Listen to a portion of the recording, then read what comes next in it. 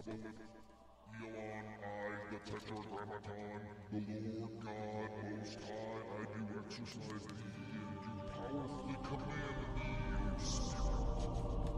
Elon, I, the Tetragrammaton, the Lord God Most High, I do exercise thee and do powerfully In the dark shadows, in the white cold, fearlessly we search for knowledge new and old. We drink the strong spirits and read the ancient tomes. The order of the Abracast. We are the brave and the bold.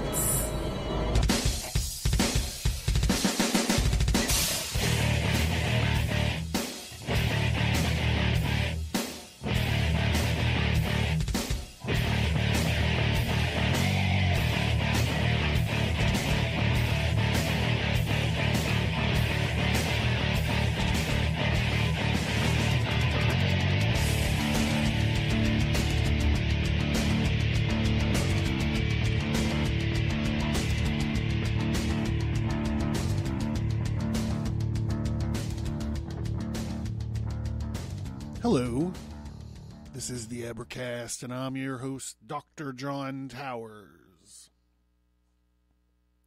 Last week, I spent a little bit of time um, messaging with some listeners and stuff about prepping. I'd mentioned in a previous episode that um, I had started sort of taking it seriously. Like, I would just keep like some cans and shit in the basement um, previously. Um, and be like, okay, well, I'm prepared, like kids fucking spaghettios. But I mentioned um, that I had started taking stuff seriously, and uh, I had um, a few listeners reaching out to me um, and asking me what I was doing and or suggestion suggesting things to to do. Sort of the way that I've been boiling it down is beans, band aids, and bullets, which is the uh, the deal, like the primary job of a first sergeant when you're deployed, right? When you're when you're in the field, that's what his deal is: be getting beans, getting bullets, and getting band aids. It's a logistical, um, well, it's like it's a logistical problem, and I feel like that is a good thing when we're talking about preparing. So whether I don't know what I, I don't know what everyone's thoughts are. So if you're preparing for, you know, a zombie invasion, remember when dot .gov did that? They were like, how to prepare for a zombie invasion because it was like preparing for any kind of stupid emergency and the whole world was watching that stupid Walking Dead um so it's like if you're dealing if you're trying to prepare for a tornado you know, or a zombie invasion, or you know, the collapse of Western civilization, we, you know, I'm looking back to um, the words of the the great general, the two and a half thousand year old words of the great general Sun Tzu, and a- and talking about the art of war, not as offensive, not as you know we're gonna go and take over this what X whatever it is, but he talks a lot about um, he talks a lot about planning and he talks a lot about uh, logistics. He talks a lot of in common parlance. He talks a lot about beans, bullets, and band aids. Um, so last episode we did uh, the first I, gue- I don't know the first third I guess of um, the James Clavell edited The Art of War by Sun Tzu. And tonight we're going to be doing probably the second third and uh, getting through that. And you know I I feel like it's something that's at it's at, at least worth checking out. It's at least worth talking about. You know, I um I've mentioned last episode that this is one of these books that I got like when I was in high school, and I've just drug it with me for forever. It's a, annotated by Dr. Jon Towers. It's um, highlighted uh, by me. It's warped and stained and disheveled. Usually, I take really good care of my books. I don't remember what happened. What had happened to this poor book? but we're gonna instead of I have actually I have multiple copies of this, but I wanted to read out of this one because I have like this sentimental emotional attachment to this poor fucking thing. So um so we're gonna get that's what we're gonna do. But before we do that i just want to say let everybody know that i have my vessel of the art here. And uh, it's chock full to the brim. It's good to the last drop. My uh, formula for mass distraction the uh, infamous jinn jihad. So let's uh all right, let's get into it. Oh, before we before we uh, get going, uh, I just need to qualify um, uh, a comment that I had in the last episode where I was talking about the infamous House of Pain song that references Sun Tzu, and I butchered it and I fucked it all up, and then and then I was thinking, I don't even know if it's infamous. Like, I don't know how many people actually. I mean, this isn't the how the House of pain is in effect, y'all. It's not that song. It's not Jump Around. So in the 90s, there was this um, movie called. What, what uh it was called Trespass. And it was about a bunch of firefighters that were like heisting something and I can't remember. Bill Paxton might have been in it. But the movie is totally forgettable. Ice one of the ices one of the ices were in it. Anyhow, the movie is totally forgettable. But what isn't forgettable about this movie is the soundtrack. The soundtrack to this movie, Trespass, is amazing. It did a lot of work for like what they would call new metal nowadays or you know the rock rap um mix mixing you know this was after um, Walk This Way with Run DMC and Aerosmith, but this was before Limp Bizkit. You know what I mean? So uh, they would do what happened for the motion picture soundtrack to Trespass is they would have a rock act and a rap act, and they would get together and come up with uh, songs, and they were they were awesome. The whole almost the whole almost the whole CD was fantastic. I haven't listened to it in forever, but that's what was stuck in my head. And um, I don't know. I don't know if I should perform some of this for you guys, or maybe if you're if you're unaware of it, you could just uh, put it on Spotify or something, but he definitely references Sun Tzu. He goes, uh, Holy diver, I'm a survivor, feeling like De in Taxi Driver with Jodie Foster and Harvey Keitel. It looks like I'm walking through a living hell. So spark that L and I'll get lifted. Feeling the effects of what my spliff did. Cause I'm gifted. I read Sun Tzu. I brought a gun too, so you'll never come to. The weight of the world's riding on my shoulders, cause I'm a soldier. I thought I told ya. Do, do, just another victim, kid. Just another victim. Anyhow, I feel like I had to. I feel like I had to redeem myself a little bit. Okay, so, um, the Art of War by the great Sun Tzu. Chapter 6. Whoa, sorry, chapter 6. Weak points and strong. The impact of your army be like the grindstone dashed against an egg. Use the science of weak points and strong. Whoever is the first in the field and awaits the coming enemy will be fresh for the fight. Whoever is second in the field and has to hasten battle will arrive exhausted. So we see this all the time you know, whenever we talk about tying formations into terrain features, Bo- Boudica did this um, in that old episode we did, and we just recently revisited the Battle of Tours, where Charles the Hammer Martel did the same thing. He uh, created his men stood like a glacier.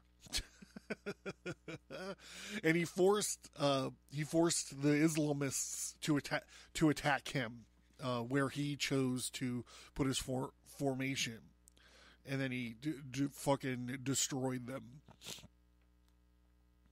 Therefore, the clever combatant imposes his will on the enemy, but does not allow the enemy's will to be imposed on him. By holding out advantages to him, he can cause the enemy to approach of his own accord, or by inflicting damage, he can make it impossible for the enemy to draw near. In the first case, he will entice him with a bait. In the second, he will strike at some important point that the enemy will have to defend. The enemy is taking his ease, harass him. If quietly encamped, force him to move. If well supplied with food, starve him out. Appear at points that the enemy must hasten to defend, march swiftly to the places where you are not expected. An army may march great distances without distress. If it marches through a country where the enemy is not, you can be sure of succeeding in your attacks. If you only attack places that are undefeated, uh, or sorry, undefended, you can ensure the safety of your defense. If you only hold positions that cannot be attacked, the gen- that general is skillful in attack whose opponent does not know what to defend. He is skillful in defense whose opponent does not know what to attack. He who is skilled in the attacks flashes forth from the topmost heights of heaven, making it impossible for the enemy to guard against him. This being so, the places that he shall attack are precisely those that the enemy cannot defend. He was skilled in defense hides in the most secret recesses of the earth, making it impossible for the enemy to estimate his whereabouts. This being so, the place that he shall hold are precisely those the enemy cannot attack. Oh, divine art of subtlety and secrecy! Through, uh, you were to learn to be invisible, though through you inaudible and hence we can hold the enemy's fate in our hands. You may advance and absolutely irresistible if you make it for the enemy's weak points. You may retire and be safe from pursuit if your movements are more rapid than those of the enemy. If we wish to fight, the enemy can be forced to an engagement, even though he be sheltered behind a high rampart in a deep ditch. All we need to do is to attack some other place that he will be obliged to relieve. The enemy is in, is if the enemy is the invading party, we can cut off his lines of what communication and occupy those roads by which he will have to return. If we are the invaders, we may direct our attack against the sovereign himself.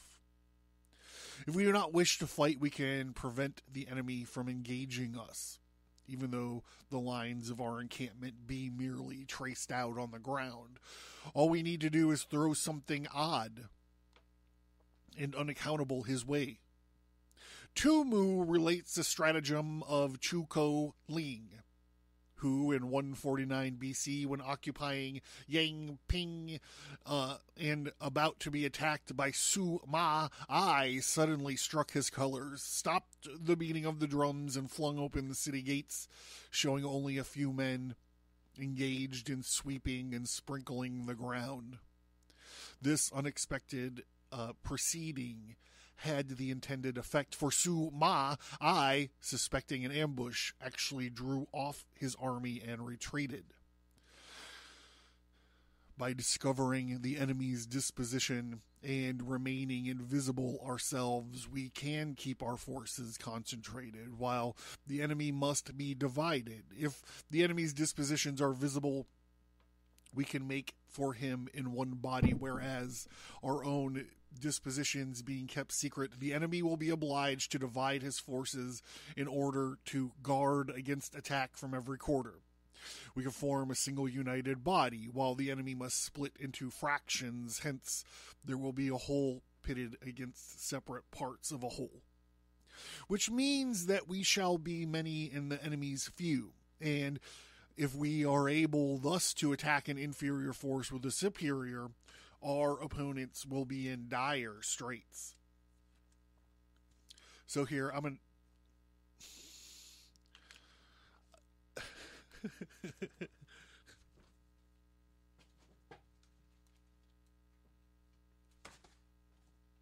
Hold on.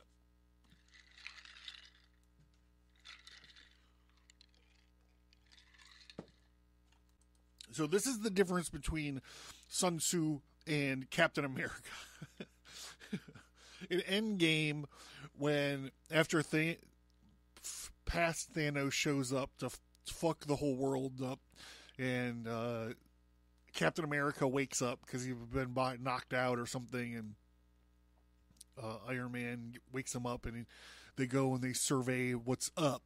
Thanos is standing there in the middle of field of battle, sitting there waiting, helmet off, drawing them in.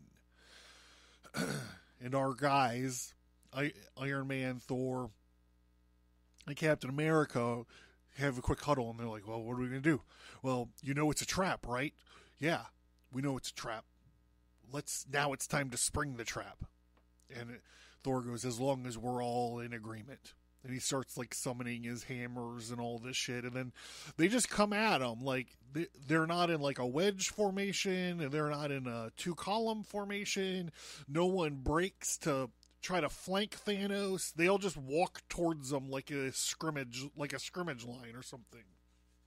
Like no tactical value to the maneuver Uh, the spot where we intended to fight must not be made known, for then the enemy will have to prepare against a possible attack at several different points, and his forces being thus distributed in many direct in many directions, the numbers we shall have to face at any given point will be proportionately few. All right, so I don't know what the correct answer is. Um, when I watch that scene, I think well, Thor should have came at him head on, and the other two guys, preferably Iron Man because he's got a lot of more defensive capability. But I don't know, Captain America's shield's pretty sweet too. The other two guys should have tried to flank him, and they could attack them all at once instead of all three of them getting their asses fucking handed to them. But really, the answer would have been if they could have held off, waited until they figured out where the Infinity Gauntlet was, and then used that to draw Thanos into into an ambush from them. That is what Sun Tzu would have uh, advised, I think, or maybe making them think that they had the the Infinity Gauntlet.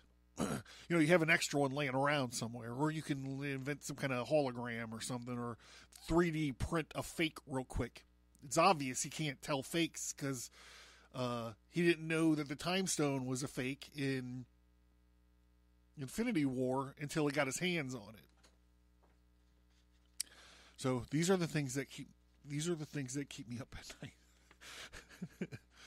For back to the book. For should the enemy strengthen his van, he will weaken his rear. Should he strengthen his rear, he will equal his van should he strengthen his left, he will equal his right. Should he strengthen his right, he will weaken his left. If he sends reinforcements everywhere, he will be weak everywhere. In old in old war movies, they're like never divide your forces. Uh, I believe that this is what Sun Tzu is talking about. So here we go. Let's think about it. Send Thor up front, down the middle. We'll send Thor down the middle, head on. And what uh, what hand does he does Thanos wield the Infinity Gauntlet with? His right hand, right? So you send Iron Man to the right flank and you send Captain America to the left flank and also get him some god a goddamn offensive weapon for Christ's sakes. Why is it in the first Avengers movie he's allowed to use a machine gun? Did he use a machine gun in Captain America the first Avenger? I think he probably did. So why has he stopped using guns? The guy's a fucking soldier. Soldiers have guns. I don't know. I'm gonna stop trying to.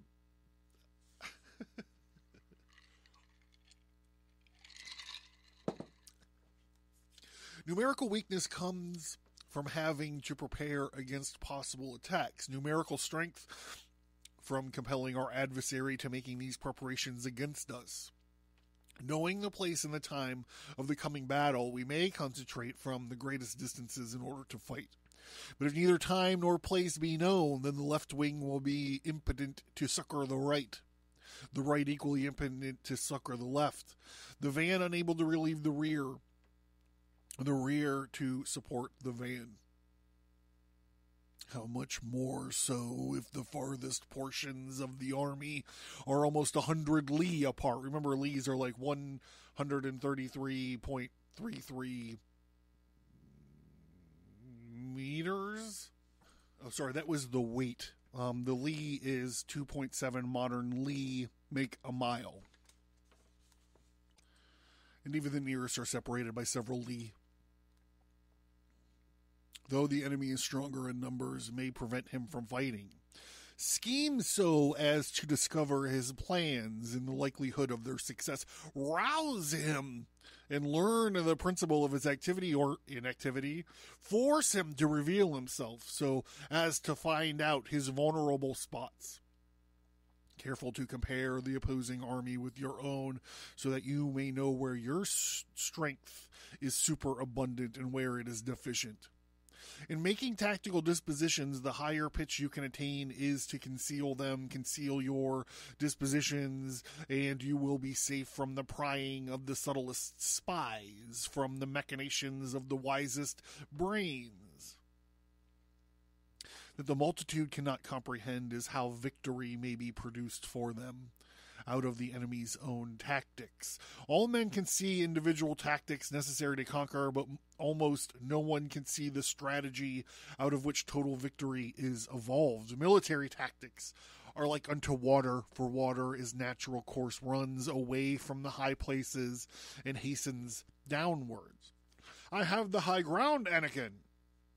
So in war, the way to avoid what is strong and to strike at what is weak. Water shapes its course according to the nature of the ground over which it flows. The soldier works out his victory in relation to the foe whom he is facing.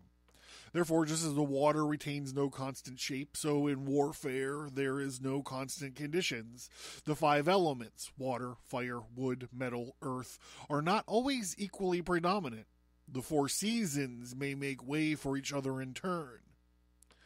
There are short days and long. The moon has its periods of waning and waxing. You can modify his tactics in relation to his opponents and thereby succeed in winning, may be called a heaven born captain.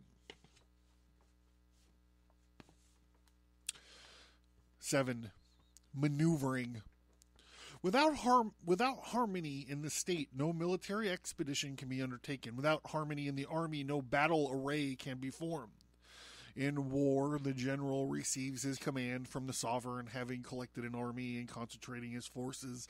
He must blend and harmonize the different elements thereof before pitching his camp. After that comes technical tactical maneuvering, and there is nothing more difficult. The difficulty consists in turning the devious into the direct, the misfortune into gain, thus to take the long circuitous, route after an, enticing the enemy out of the way, and although starting after him to retrieve the uh, to contrive the reach the goal before him shows knowledge of the artifice of deviation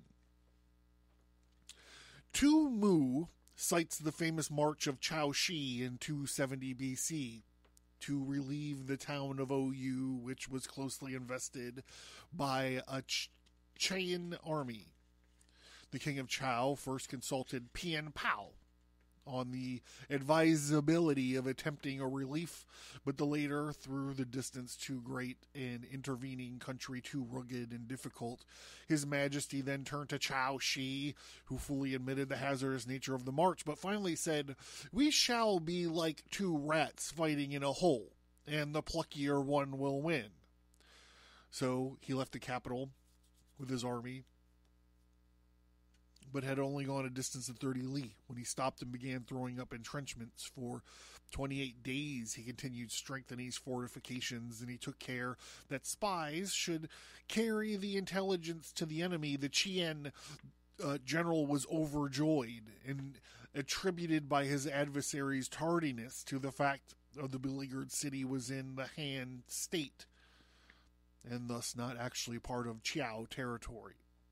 But the spies had no sooner departed than Chao Shi began to uh, began a forced march lasting for two days and one night and arrived at the scene of action with such astonishing rapidity that he was able to occupy and command the position on the North Hill before the enemy had got wind of his movements. A crushing defeat followed for the Qian forces who were obliged to raise the siege of OU in all haste and retreat across its border.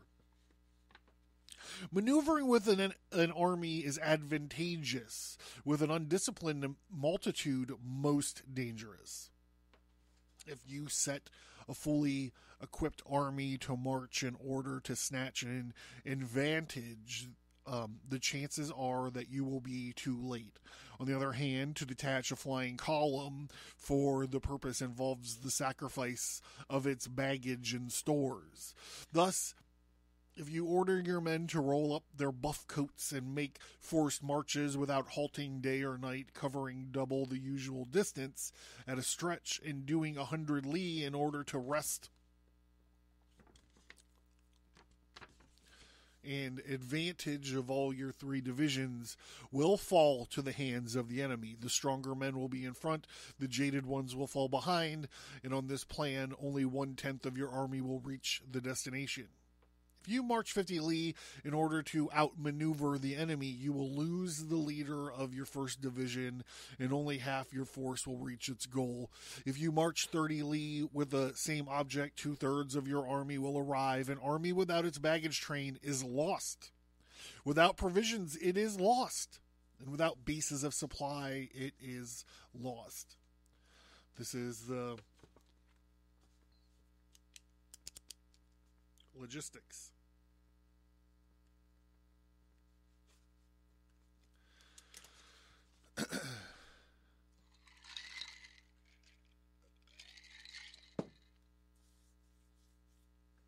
We cannot enter into alliances with or until we are acquainted with the designs of our neighbors.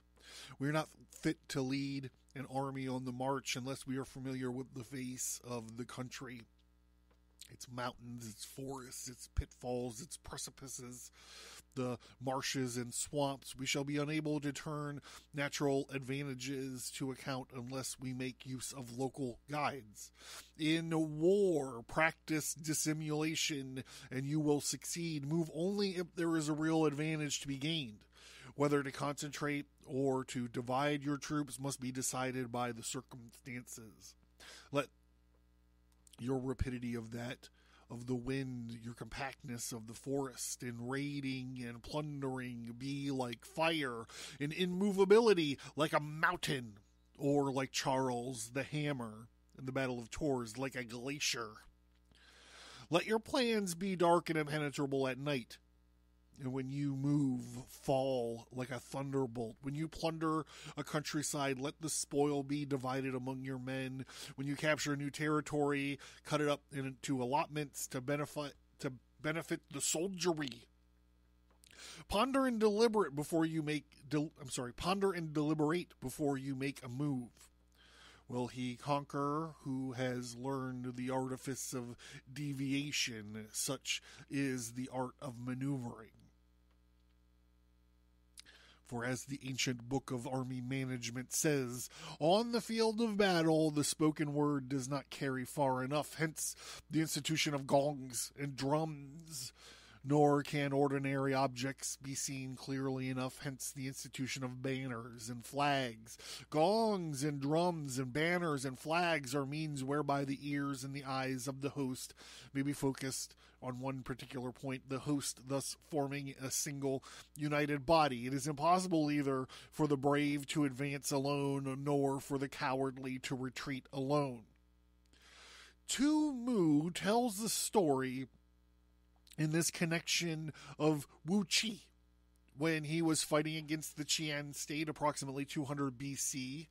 Before the battle had begun, begun, one of his soldiers, a man of matchless daring, sallied forth by himself. He captured two heads from the enemy and returned to camp, and Wu Chi had the man instantly executed, whereupon an officer ventured uh, to remonstrate, saying, This man was a good soldier and ought not to have been beheaded. And Wu Chi replied, I fully believe he was a good soldier, but I had him beheaded because he acted without order. So, in the context of why we're examining this text, you know, in, the way of prepping or, um, I don't know, home defense, or I guess it would be called small unit maneuvering if you're just trying to get you and your family out or whatever. The flags and all this stuff, the gongs and the drums and the flags, you know, that's like um that's like Braveheart kind of stuff. That's like Signal Corps, you know, kind of stuff on, on the battle on the battlefield. Uh, I suggest that if you're prepping and you're planning or you have a fault, like you know your bug out bags and all of this stuff, you should probably have some a couple walkie talkies and or train your wife in patrol hand signals like I do when we're going like when we're going to Walmart. This is the art of handling large masses of men. In night fighting, then, makes such use of the signal fires and the drums and in fighting by day or flags or banners as a means of influencing the ears and the eyes of your enemy. A whole army may be robbed of its spirit. A commander in chief may be robbed of his presence of mind. Li Chuan tells of an anecdote of Cao Qiu, the protege of Duke Chuang of Lu. The latter state was attacked by Qi, and the Duke was about to join battle after the first roll of the enemy's drums when Xiao said, Not just yet, only after their drums had beaten for the third time did he give the word for attack. Then they fought, and the men of Qi were ut- Qi were utter- utterly defeated. Questioned afterwards by the Duke as the meaning of his delay, Xiao Qiu replied in battle, A courageous spirit is everything. Now, the first roll of the drum tends to create the spirit, but the second, it is already on the wane, and after the third, it is gone altogether. I attacked when their spirit was gone, and ours was at its height, hence our victory. The value of the whole army, the mighty host of a million men, is dependent on one man alone. Such is the influence of spirit. Now, a soldier's spirit is keenest in the morning. By noonday, it has begun to flag. In the evening, his mind is bent only on returning to camp. A clever general, therefore, avoids an army when its spirit is keen, but attacks when it is sluggish and inclined to return. Thus is the art of studying moods, discipline, and calm. He awaits in the appearance of disorder and hubbub among the enemy. This is the art of retaining self possession. I highlighted this. I took a note on this. That's interesting. To be near the goal while the enemy is still far from it, to wait at the east or sorry, to wait at ease while the enemy is toiling and struggling, to be well fed while the enemy is famished. This is the art of husbanding one's strength.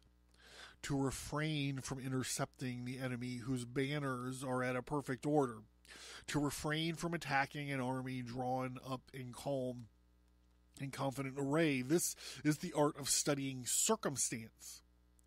It is a military axiom not to advance uphill against an enemy, nor to oppose him when he comes downhill.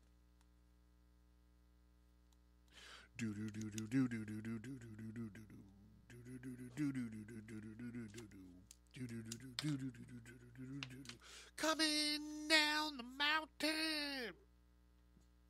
I bet you guys didn't know you were going to get so many musics today. Do not pursue an enemy who simulates flight. Do not attack soldiers whose tempers are keen. Do not swallow a bait ordered by the enemy. Do not interfere with an army that is returning home because a man whose heart is set on returning home will fight to the death against any attempt to bar his way. It is therefore too dangerous an opponent to be tackled. When you surround an army, leave an outlet free. This does not mean that the enemy will be allowed to to escape. The object is to make him believe that there is a road to safety, and thus prevent his fighting with courage of despair. You should not press a desperate foe too hard. I highlighted that too, and that's interesting. So, I. Uh, Ho Shi illustrates with a story taken from the life of Hui Yang Qiang, the general was surrounded by a vastly superior army of the Khitans uh, um, in the year AD 945. And the country was bare and desertless, and uh, uh, the little Chinese force was soon in dire straits for want of water. The wells were bored. The wells they bored ran dry, and the men were reduced to squeezing lumps of mud and sucking out the moisture. They should get one of these purification pumps. I just scored my my prepping my prepping experience. Their ranks thinned rapidly until at last Fu Yang Qiang explained. We are desperate men, far better to die for our country than to go with fettered hands into captivity. A strong gale happened to be blowing from the northeast and darkened the air with dense clouds of sandy dust, and Tu Cheng Wei was for waiting until he had abated before deciding on a final attack. But luckily, another officer, Li Shao Chang by name, was quicker to see the opportunity, and he said, They are many and we are few, but in the midst of this sandstorm, our numbers will not be discernible. Victory will go to the strenuous fighter. And the wind will be our best ally. According, accordingly, Fu Yang Xiang made a sudden and wholly unexpected onslaught with his cavalry, routed the barbarians, and succeeded in breaking through to safety. And such is the art of warfare.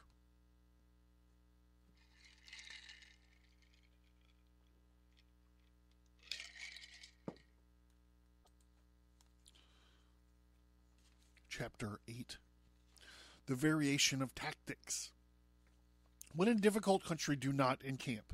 In country where high roads intersect, to join hands with your allies. Do not linger in dangerously isolated positions. In hemmed in situations, you must resort to stratagem.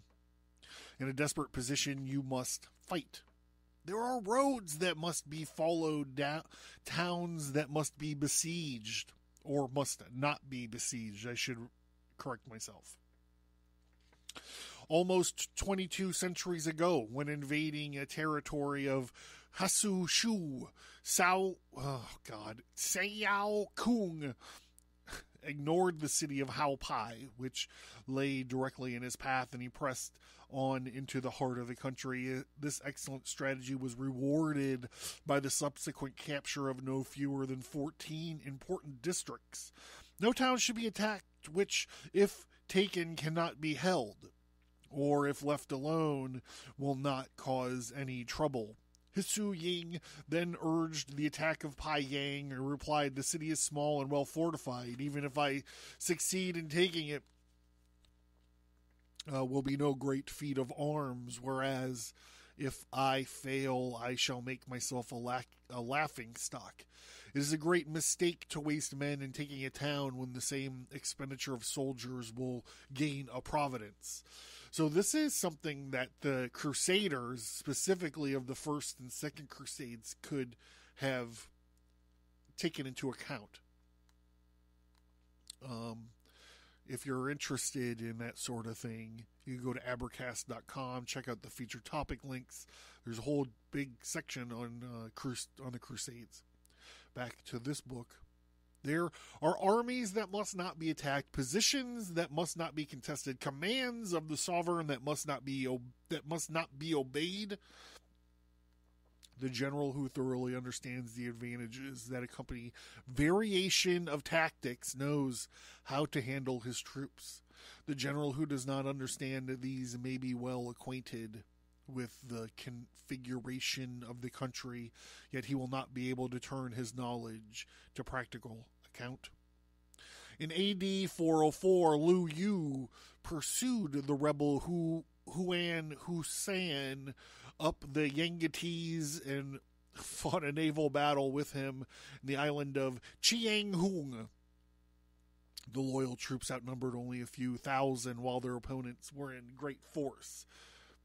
But Huan Hussein, fearing the fate that was in store for him should be overcome, had a light boat made fast to the side of his war junk so that he might escape if necessary. And at a, at a moment's notice, the natural re- result was that the fighting spirit of his soldiers was utterly quenched. When the Loyalists made an attack from the windward with the fire ships all striving with the utmost ardor to be first into the fray. Hussein Uh, sorry, Huan Hussein's forces were routed, had to burn all their baggage, and fled for two days and nights without stopping. In the wise leader's plans, consideration of advantage and of disadvantage will be blended together. If our expectations of advantages of advantage be tempered in any way, we may succeed in accomplishing the quintessential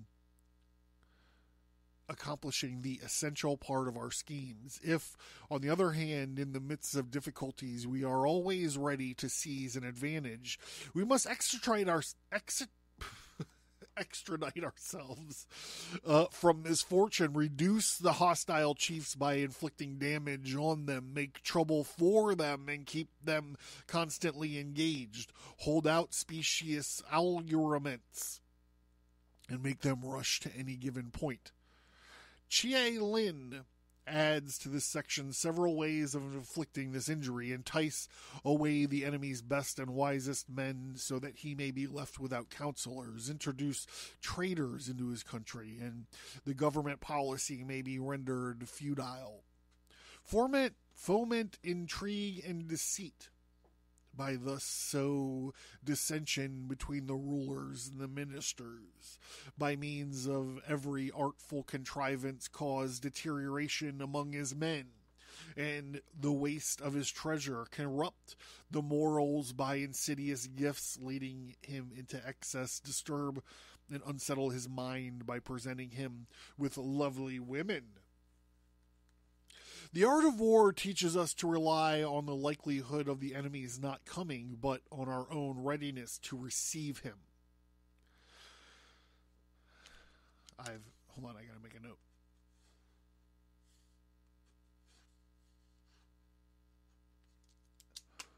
I want to. I'm going to read that one again.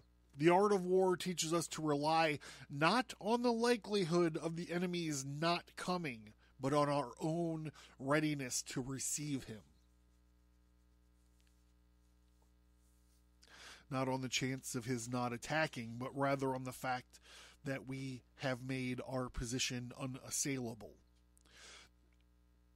There are five, I mean, what does that mean in the context of why we're reading this? Um, it's not like you could dig a moat around your house, right? Like you can't do that. I remember when I was buying my house, I was like, there's one specific point in my house, and I'm not going to get too specific, but there's one point in my house where I can basically defend every entrance. Ev- not every entrance, every easy entrance. I got the front door and the back door for one position. I got uh, a, the window in the back, the window in the front. Um, and then if I look up the stairs, I guess I just basically told you what it was. but if anybody scaled up and busted through, it's funny because I was sitting there with the realtor and I'm like looking at this, and also I'm like I'm on a hill, so I'm like, well, you know, if uh, if there's a deluge, I should be good up here at least for a couple days. Now I know I'm going to die defending this house in the very spot. Not on the chance of his own attacking, but rather on the fact that uh, we have made our position unassailable. There are five dangerous faults which may affect a general, of which the first two are recklessness, which leads to destruction, and cowardice, which leads to capture. Next, there is a delicacy of honor, which is sensitive to shame, and a hasty temper, which can provoke can be provoked by insults. Hayo Hsing, when opposed in AD 357 by Huang Mi to Sang Chiang and others, shut himself up behind his walls and refused to fight. To Chang Chiang said, Our adversary is the choleric temper and is easily provoked, and let us make our uh, constant sallies and break down his walls. And then he will grow angry and come out once he can bring his force to battle. It is doomed to be our prey. This plan was acted upon, and Yao Hsing came out to fight, and he was lured on so far as Swang as San Wang by the enemy's pretend flight and finally attacked and slain.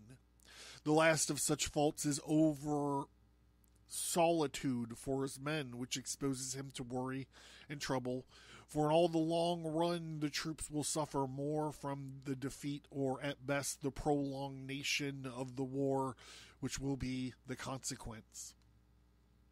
These are the five besetting sins of a general, ruinous to the conduct of war. When an army is overthrown and its leader slain, the cause, the cause will surely be found among these five dangerous faults, and let them be the subject of meditation. And with that, meditate on this. This has been the Abracast, The Art of War Part 2. I am uh, Jon Towers, and this is Hila, who'll tell you what the fuck is up next. Thank you for listening, and we hope that you enjoyed the show. Please send an email or find us on social media and let us know what you think about the show. We would appreciate it if you would give us a five star rate and review wherever you find your favorite podcasts.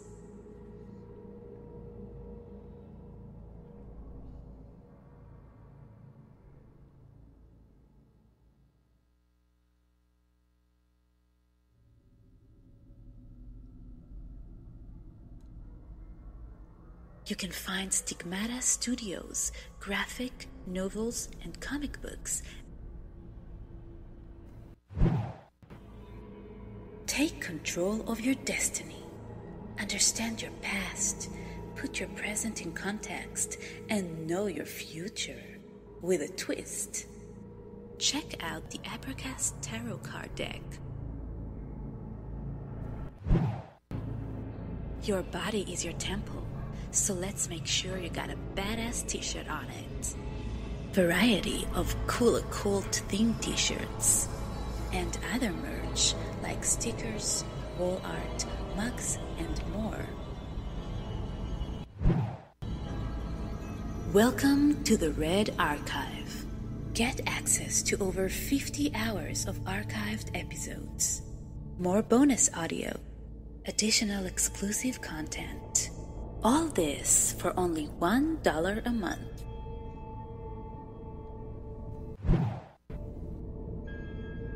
Are you interested in the occult, history, conspiracy, and violence? Learn more at abracast.com.